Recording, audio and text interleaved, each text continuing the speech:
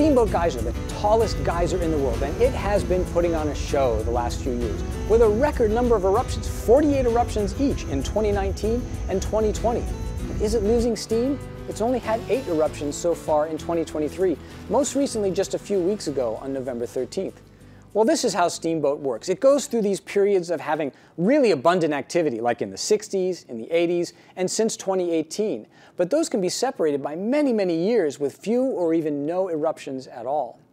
These really active times, though, allow us to learn quite a bit about the geyser system and how it works. For example, we put out seismometers all around Steamboat and neighboring Cistern Spring, about 300 or so feet away. Now, whenever Steamboat erupts, Cistern drains like someone pulled the plug on a bathtub. Now when we look at the sound that's created by all the boiling water beneath these features, we can see that the plumbing systems go quite deep, hundreds of feet. We didn't even see the connection between cistern and steamboat. But this may be one reason that steamboat's eruptions are so tall, that the plumbing system goes quite deep, much deeper than any other geyser system we know about in Yellowstone National Park.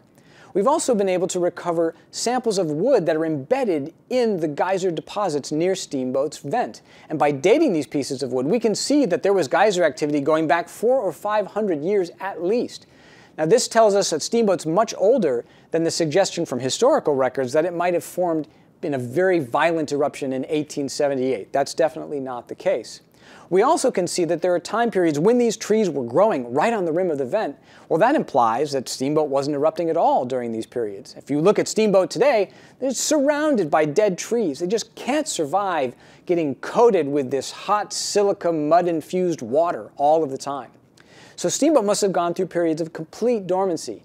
And those periods seem to correlate with time periods of drought.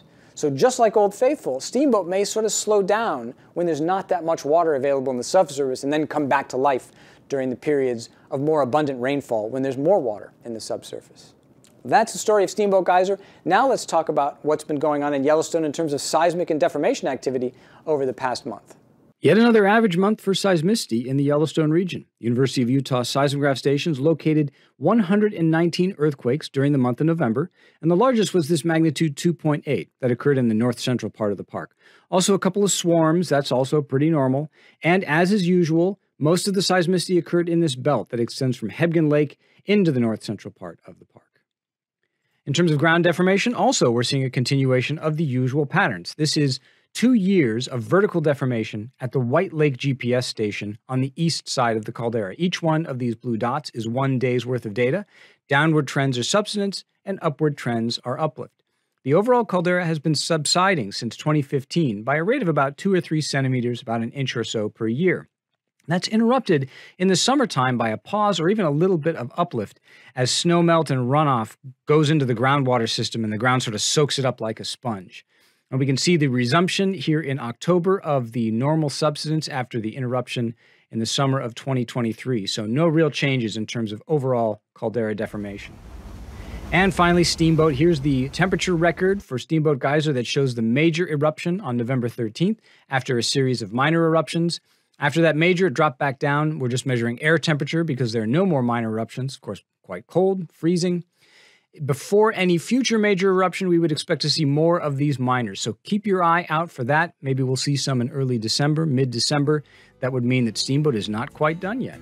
Well, that's the Yellowstone Volcano Observatory update for December 1st, 2023. Please don't forget to like and subscribe if you enjoyed this. And if you have any questions whatsoever, feel free to email us. Our address is yvowebteam, all one word, at usgs.gov.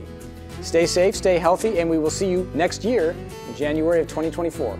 Bye-bye. Just want to let you know about the Sounds of Yellowstone playlist on the USGS YouTube channel. It's a great spot to actually listen to the geysers, hot springs, mud pots, and frying pans of Yellowstone National Park.